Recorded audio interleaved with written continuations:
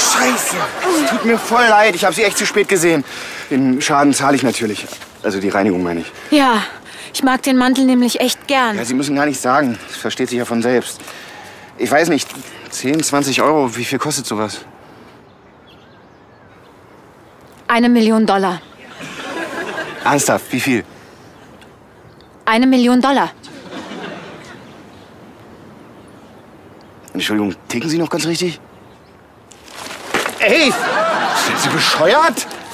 Sie haben ja eine Vollschacke, haben Sie ja.